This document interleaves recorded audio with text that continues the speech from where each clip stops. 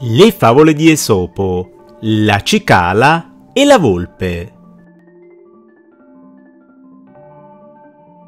In un giorno di sole, una cicala, posta sulla sommità di un albero, cantava con tutta la sua forza. Una volpe, che aveva desiderio di mangiarsela, escogitò un piano per fare questo. Si mise sotto la grande pianta sulla quale era posto l'insetto canterino ed iniziò a pregare questo di scendere dicendogli che voleva vedere quale possente animale era capace di generare quella melodia tanto gradevole. La cicala, che aveva intuito le intenzioni malevoli di quel mammifero carnivoro, staccò una foglia, che le somigliava, dal ramo dell'albero sul quale ella stanziava e la fece cadere verso il basso per vedere la reazione della volpe. Quest'ultima, scambiata la foglia per l'insetto, immediatamente la prese in bocca proprio come avrebbe fatto con la sua preda. Fu allora che la cicala, dalla sommità della pianta, disse al canide